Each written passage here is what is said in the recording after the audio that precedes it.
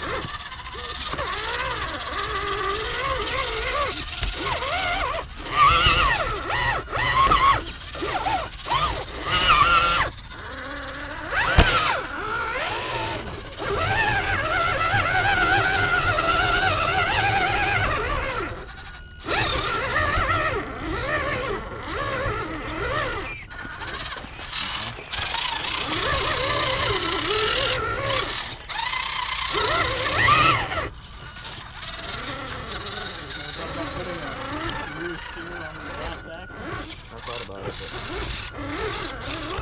I'm, I'm actually gonna put that on.